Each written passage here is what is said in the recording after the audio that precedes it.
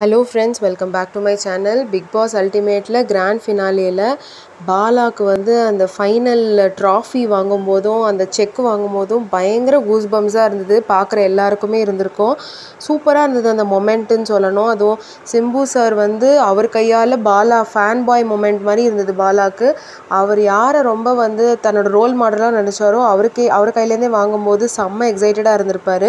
அந்த எக்ஸைட்மெண்ட்லேயும் அவர் பண்ண ஒரு க்யூட் கெஸ்டரை பற்றி தான் நம்ம பார்க்க போகிறோம் என்ன அப்படின்னு பார்த்தீங்கன்னா ரெண்டு பேரையும் நிற்க வைக்கிறாங்க இல்லையா? நிரூப்பையும் பாலாவையும். அப்போ வந்துட்டு பாலா கிட்ட வந்து நீங்கள் எப்படி ஃபீல் பண்ணுறீங்க நிரூப் எப்படி ஃபீல் பண்ணுறீங்கன்னு சிம்பு கேட்கும்போது நிரூப் வந்து பரவாயில்ல சார் நான் நல்லா தான் ஹாப்பியாக இருக்கேன். செகண்டில் நின்னா கூட ஏன்னா என் என் நண்பன் என்னோட மச்சான் வின் பண்ணால் கூட எனக்கு சந்தோஷம் தான் சார் அப்படின்ற மாதிரி சொல்கிறாரு பட் ஃபுல்லாக அவரால் சொல்ல முடியல. ஏன்னா முகம் கொஞ்சம் அவருக்கு கஷ்டமாக தான் இருக்குது அது உண்மை தான் ஏன்னா அவங்க அப்பாவும் பார்க்கும்போதும் அவரும் அவரோட ஃபேஸும் நம்மளுக்கு நல்ல ரியாக்ஷன் தெரியுது. பட் வந்து பாலான்னு அனௌன்ஸ் பண்ணி அந்த கையை தூக்கும்போது பாலாக்கு அந்த அவ்வளோ எக்ஸைட்மெண்ட்டுக்கு எப்படி எல்லாருக்கும் இருந்திருக்குமோ? அதே மாதிரி பார்க்குற எல்லாருக்கும் ஹவுஸ்மேட்ஸுக்கும் எல்லாருக்குமே இருந்தது. எல்லோரும் எழுந்து நின்று கை தட்டி எல்லாம் சூப்பராக பண்ணாங்க. அந்த ட்ராஃபி சிம்பு கையால் அவர் வாங்கிட்டு அவர் கையில் வச்சுக்கும் போது உடனே நிரூப்பை பக்கத்துக்கு கூப்பிட்டு அவர் உடனே ட்ராஃபியை நிரூப் கையிலையும் கொடுத்துட்டு ரெண்டு பேருமே பிடிச்சிட்டு ரெண்டு பேரும் ரெண்டு சைடும் கிஸ் பண்ணதை பார்த்தீங்கனாலே சூப்பராக இருந்தது.